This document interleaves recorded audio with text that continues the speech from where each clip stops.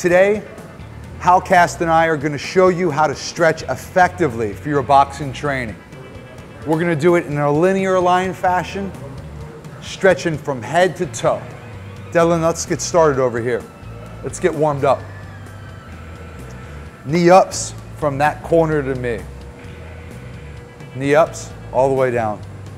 There you go. That's it. Pull your knee up to your chest, keeping your spine straight. And turn around. Walk in a straight line down. We're raising our blood temperature a little bit, getting your, getting our muscle tissue ready to function. And one more time.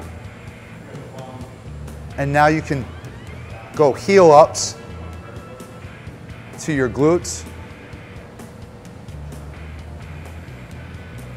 Turn around. You can, you can utilize these stretches at home and most professional athletes all do line drills. So this is the way you get warmed up properly. And then knee up and out. Keep your spine straight.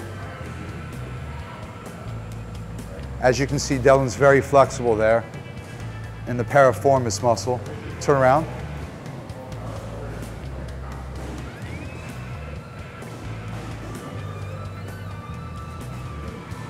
Now, wake up your core, one leg behind.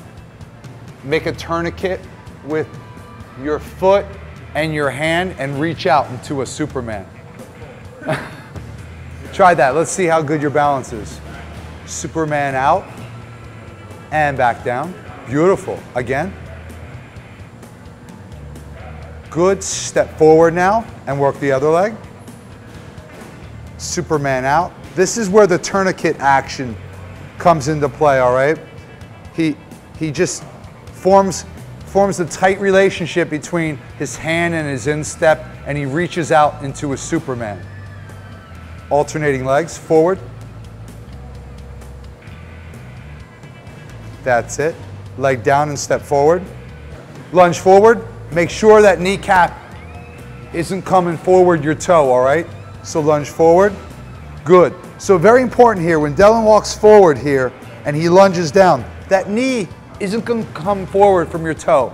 And your core's, your core's contracted. It's tight there, all right? Down, and your spine is slightly leaning forward in an athletic position to engage your core, all right? And when you lunge down, you come up and squeeze your glutes together, all right? So you use muscle tension to rise. If you learn to move functionally, your body's going to be much more efficient, especially when it comes to boxing movement.